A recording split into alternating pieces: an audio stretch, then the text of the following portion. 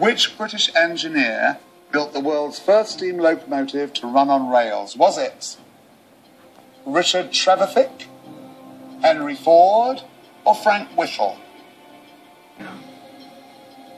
I'll go with Richard Trevithick. Should I accept Richard Trevithick as your answer? Yes, please, sir. Done. There it is.